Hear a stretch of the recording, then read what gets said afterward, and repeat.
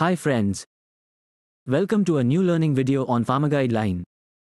Today we will discuss the effective swabbing technique for cleaning validation.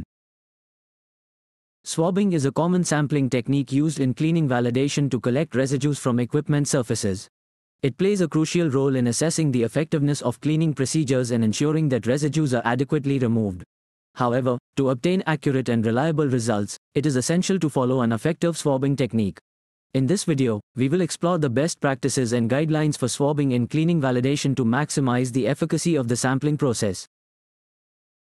Selection of appropriate swab material. Choosing the right swab material is crucial for effective residue collection. Consider the compatibility of the swab material with the residues of interest and the analytical methods employed for residue quantification.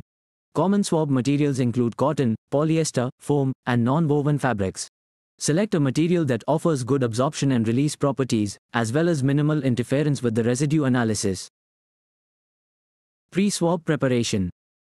Before swabbing, ensure proper preparation to minimize contamination and ensure accurate sampling.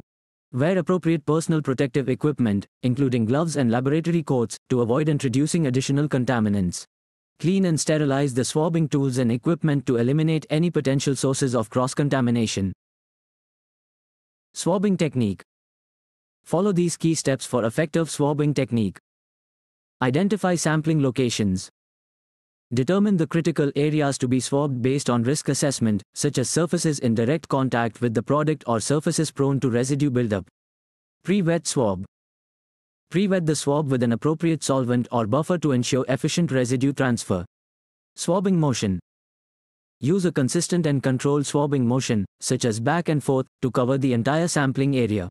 Apply sufficient pressure to ensure contact between the swab and the surface. Surface coverage. Ensure complete coverage of the sampling area without overlapping or missing spots. Pay attention to corners, crevice, and other hard-to-reach areas where residues may accumulate. Swab rotation. Rotate the swab periodically to ensure maximum residue collection and prevent saturation in a single area. Swab collection and storage. After swabbing, carefully collect the swabs to prevent cross-contamination and ensure proper storage. Place each swab in a labeled, clean container to maintain sample integrity. Store the swabs according to the required temperature and stability conditions until further analysis. An effective swabbing technique is essential for accurate and reliable cleaning validation.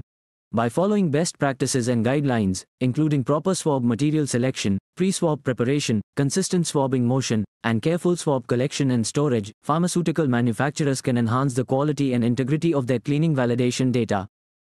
Like the video and share it with your friends and colleagues. Don't forget to subscribe to this channel and also hit the bell icon to get regular updates. Thanks for watching this video.